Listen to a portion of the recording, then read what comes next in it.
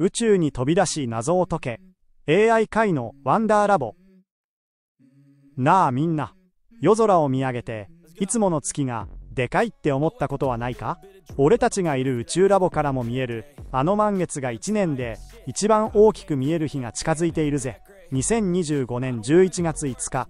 今回はスーパー月の秘密に迫るぜ。しかもこの満月には特別な名前がある。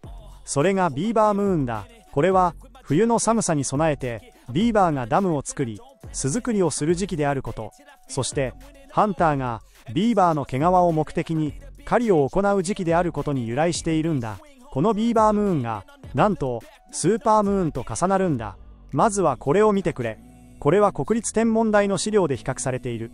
2016年の最大の満月と最小の満月なんだ。こんなに大きさが違うんだぜ。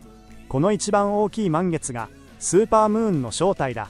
大きさが14%明るさが30%も違うんだから見逃すわけにはいかないだろ。じゃあなんでこんなに大きさが変わるのか。理由はシンプルだ。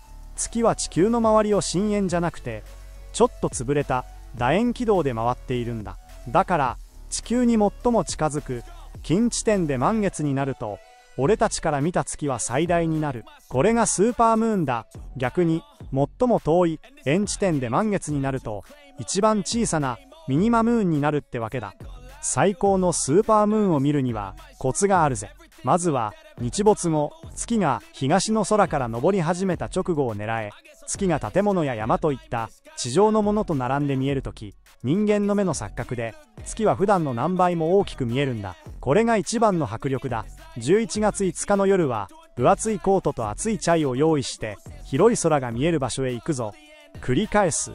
2025年最大の満月は11月5日だ。このチャンスを逃すなよ。来週もまた面白い宇宙イベントを紹介するから。チャンネル登録と通知オンにして待っててくれ。またな。宇宙のどこかで会おうぜ。